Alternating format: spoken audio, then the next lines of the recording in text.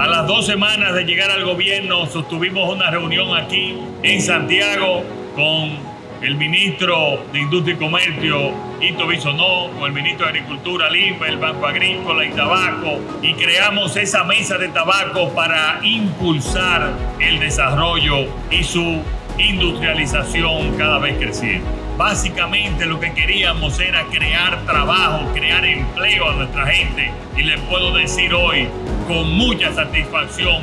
que lo logramos. y este sector es el más pujante de toda la economía de República Dominicana, porque exporta 1.300 millones de dólares cada año, importa 600 millones de dólares, o sea que estamos hablando de un monto de 2.000 millones de dólares que mueve el sector tabaco en la economía de la República Dominicana.